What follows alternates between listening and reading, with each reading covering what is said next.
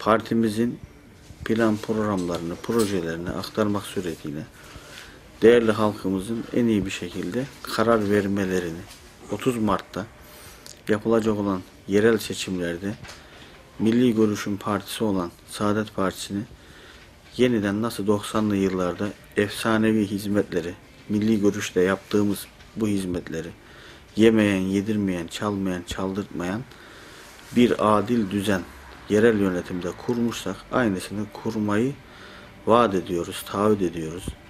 Gerekli çalışmaları da yapıyoruz. Bununla ilgili köy çalışmalarımız devam ediyor. Halkımızla e, bir birebir yüz yüze görüşüyoruz.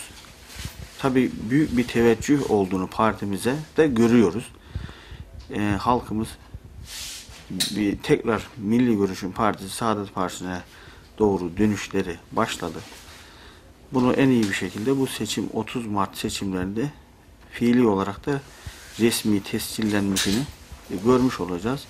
Bizim tabii ki bu süreçte değişik projelerimiz var. Bu projelerimiz olmayan, çarşambada yapılamayan projeler, işte huzur evi, aşevi, belediye iktisadi teşekküllerinin vermiş olduğu sınırlar içerisindeki halkımızın işsiz insanlarımıza iş istihdamı sağlayacak bir takım küçük ölçekli, orta ölçekli fabrikaların öncülüğünü yapmak, e, fakir fukara, garip gurabayı gözetmek, bunlarla ilgili e, halkımızın sorunlarıyla ilgilenmek.